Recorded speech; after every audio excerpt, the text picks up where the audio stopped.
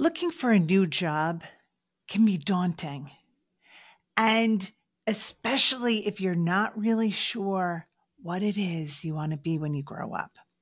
So, I have three tips on how you can leverage Chat GPT or AI to make the process a little bit easier. Why make things so hard, my friends? Okay, so let's dig in.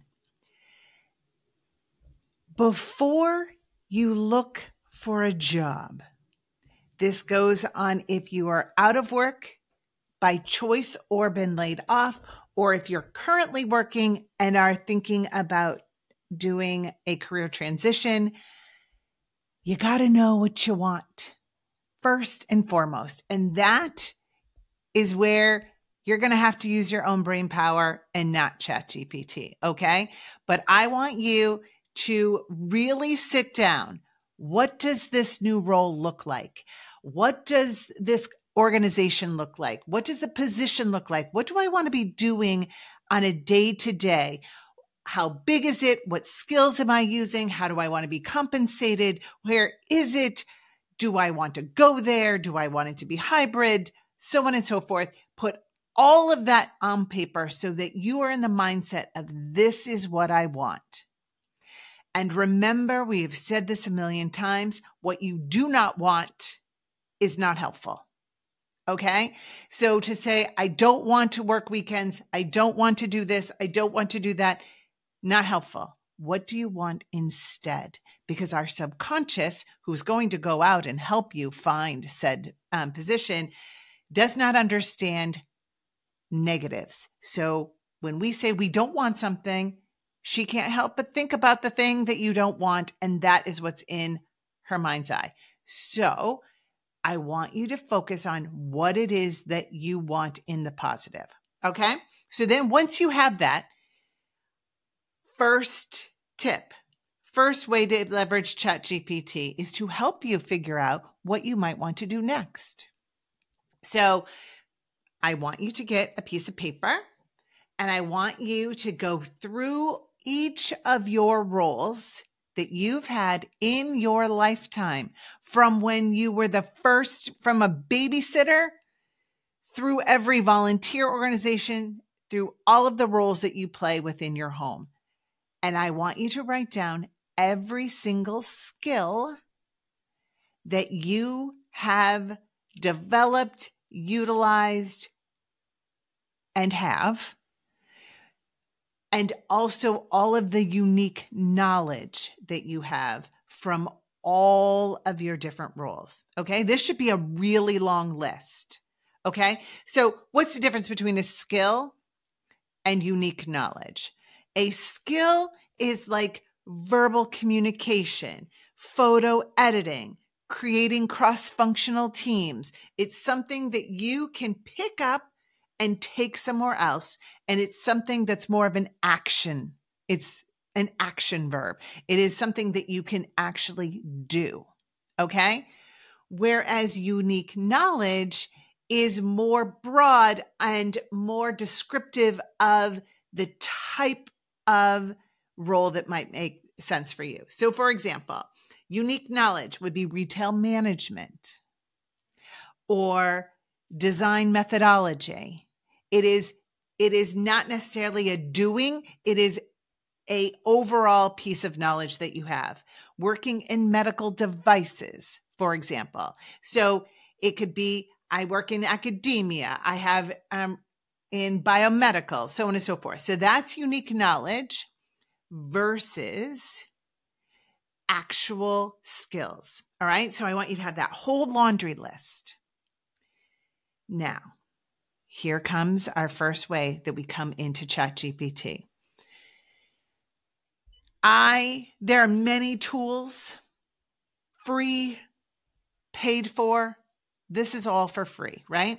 So i will put the link in show notes of openai which is the ChatGPT. i use the free version. There are some days that i use it so much it says okay that's all you can do until 5.30 this evening. I'm okay with that I can wait. Um, but if you want, there's always paid versions. There's always things you can make things more difficult. Let's stay with easy. So if you've not used ChatGPT before, it needs a persona. So you open up a chat and you set the persona of what you want this thread to have. So just like you can go in and say, I want you to be a skilled financial planner that is has years of experience helping people in their 50s prepare for retirement. Because now you want to ask it all sorts of questions about that.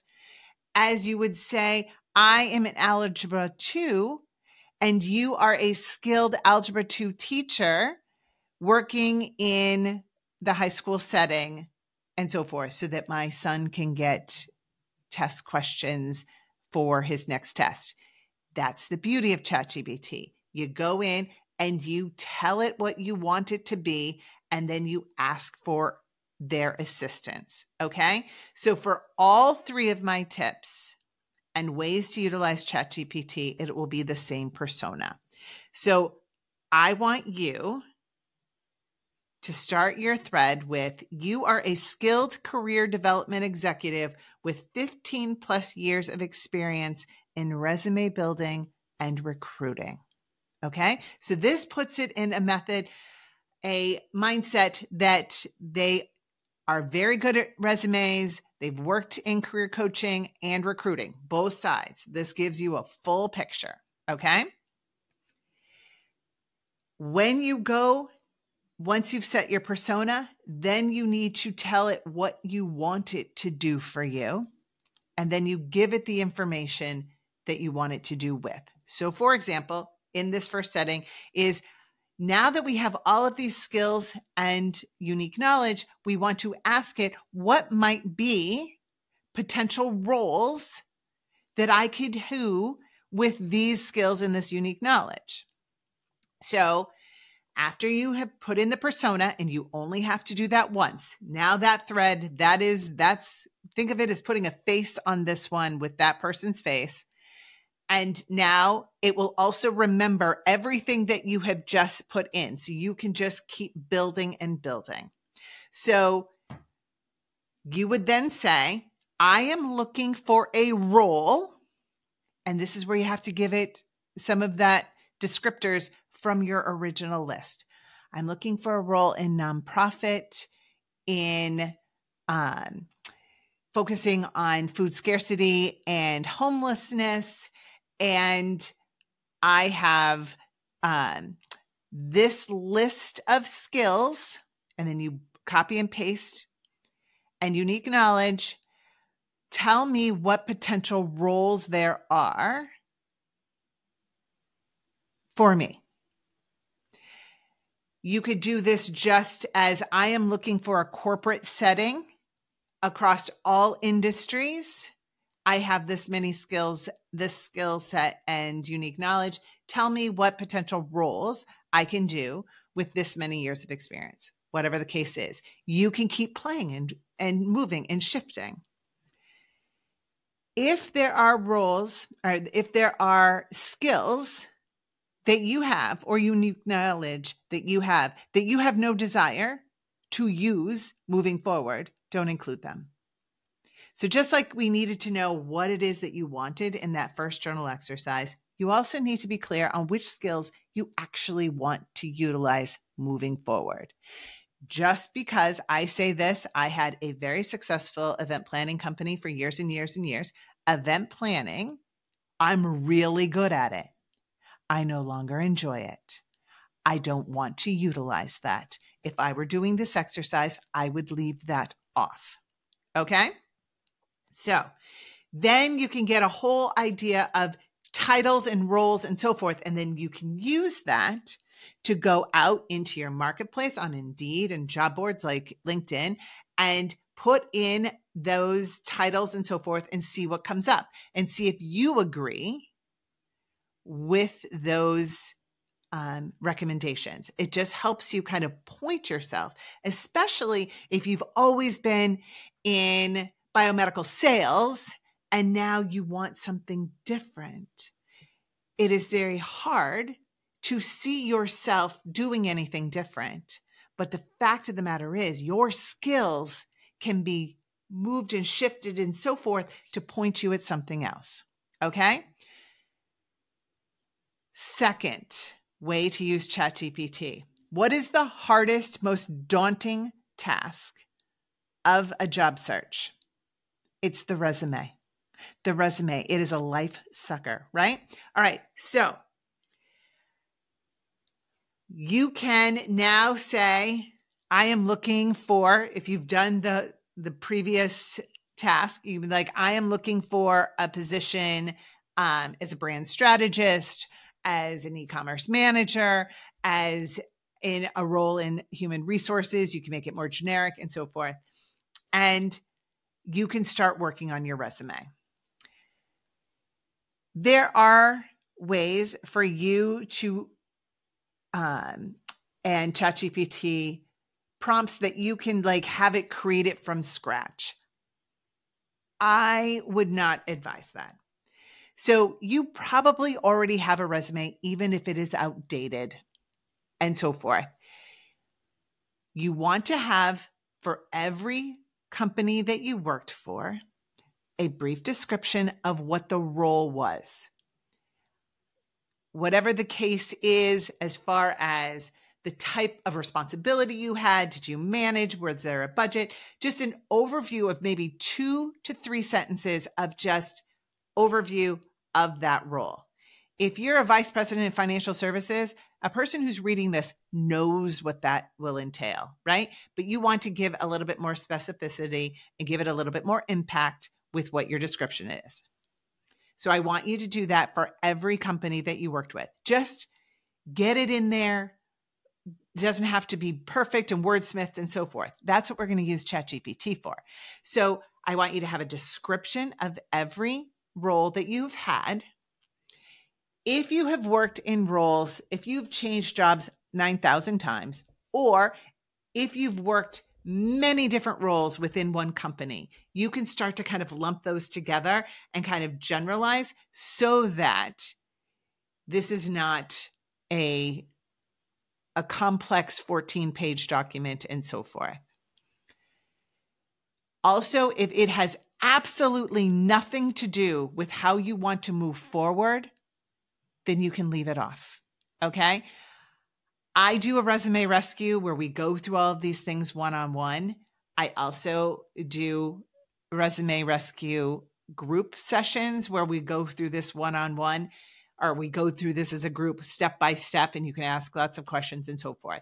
But this is just to give you an overview of how you can utilize ChatGPT for yourself in your resume. Okay. So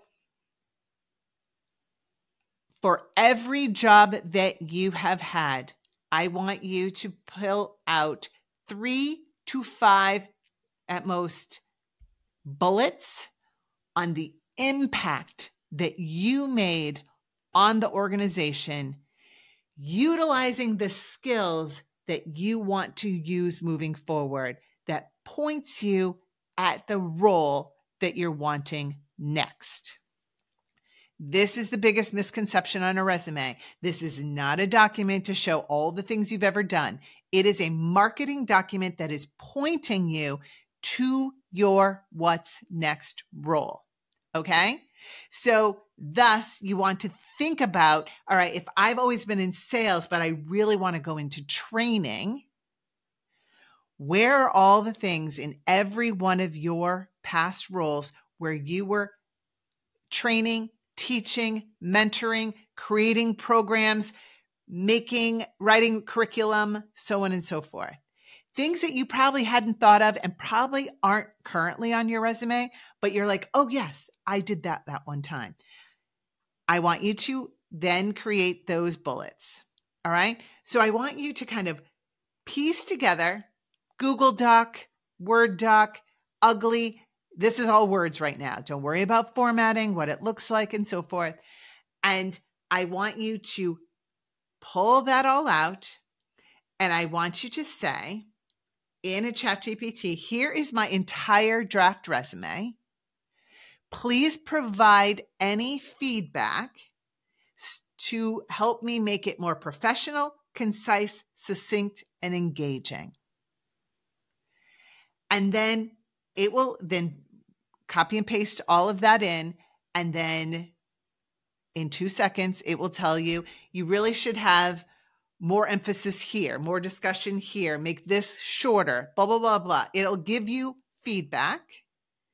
And then go back to your working document, make that as many of those changes as possible. And then one job after another, you can then take each of the sections of the, the overall description of the role and ask it, please edit this to make it concise and engaging. Engaging is that helps make this shorter and more concise. If you've ever picked up someone else's resume and your eyes glaze over and you're like, I don't even want to read this, like I'm bored already by just looking at this, we don't want that. Think of a recruiting or a hiring manager who is picking this up and they need to see in a second is this person worth me continuing to read or am I going to put this aside? Okay. So each section these are my three to five bullets, or these are my bullets for this role. Please help me edit this to make it concise and engaging and just do section after section after section and clean up all of those pieces. Herein lies. This is why we don't encourage our children to use ChatGPT to do their homework because it is computer generated, right? And they need to think for themselves. We need to think for ourselves as well. And we, this is our document that is, we're putting our name on, and this is the face of us. So don't blindly just take this transformational, um, that is the biggest one of words that AI loves to use, pivot, um, exceptional, and so forth this needs to sound like you. And mind you, there's a whole, I could, we could go down the concept of how you train your chat GPT to speak like you. But again, we're keeping this easy. So after it has given you all these suggestions, you've copied and pasted that into your uh, working document. Then you go through and be like, I would never say this. I would never say this like this. And then you edit it to sound like you, but using no more overall words than what it gave you, and so forth. Once you have that all cleaned up, then you go into ChatGPT and say, I am looking at this role, like find an actual um, job description. Here is my entire resume please write me a summary that's no more than 100 words that summarizes my capabilities at doing this type of role. And then that is the part that goes at the top. So in a resume, we start with all of our contact information, then we have our summary, then we have our skills, and then you have your chronology. You finish with your education, certifications, and volunteer work. So, this is where you can just play and so forth. Sidebar I am not a proponent for totally updating and changing your resume for every um, job that you're looking at because there's just so many opportunities for there to be errors and and so forth and getting confused as to which one. So when you're asking for it for a job description have that as your overall like i'm looking at these types of roles and so forth. Where you can do very customized to the job description of what you're applying for is in your cover letter. That is that is a whole other piece. You can absolutely take your whole resume and say, This is the job I'm looking for. Here's the job description that they're asking for. Please write me a cover letter. You know, ask it, it'll tell you in the cover letter what they're wanting and so forth. And then again, you make it sound like you. third way to use ChatGPT, mind you, I just gave you about 15 in that just resume piece alone, is interview prep. Okay. So now you've put your your resume out into the world. You now have um, an interview, or even if you don't have the interview yet, you can start preparing for an interview using ChatGPT. So pick a job description that sounds amazing that you would love to have and put it into, again, the same persona and say, I am looking at um, interviewing for this role and give it um, copy and paste in. Please provide me five interview questions for this position. Okay. And then they'll give you um, five typical interview questions that a recruiter would give you. And then you can sit and craft your answer. Like write it out, craft your answer. Then, once you've done that, you can then say, Here is my entire resume. Please provide me your responses based on my resume to those five questions. See what it says, and then pull the best of both together into what you're crafting as your story to be for these types of questions. This provides you an opportunity to be able to practice. You know how amazing you are, but being in front of other people and having something at stake is hard and makes memory almost impossible at times. So, this gets you used to saying all the things and crafting those stories that you need to have. You need to have stories on what was your most your proudest moment in your work career what was your least what was the most challenging and what do you want to do next? These are types of things that you should just be able to say it doesn't matter where you're sitting okay? So chat gpt once you get into it, you can figure out a million other ways. I had a client the other day who had um, found a job description or a company that is hiring. It had two roles and they were so minutely different. One was like a director of engineering and one was a director of strategy but it was both very much an almost overlap on job description she was fitting for both so we had this discussion does she apply to both does she apply to just one and she used ChatGPT. She put in both job descriptions and then her resume and said, which one am I most suited for? And ChatGPT then pointed her to one in particular and so forth. So there's a million ways that you can use it. And there's this idea of like, oh, I shouldn't be utilizing AI and so forth. If it gets you to a role that fills you up in an organization that adores and respects you, where you're getting paid your value, it's worth it, my friend. Use the tools that are available to you. Take the daunting and make it easy. If this still seems like I have just spoken Greek, I'm like the teacher from Peanuts and it's like wah, wah, wah, wah, wah reach out. I can help you do all of these pieces and so forth. But this is if you want to get started right away on your own. I hope you have an amazing week.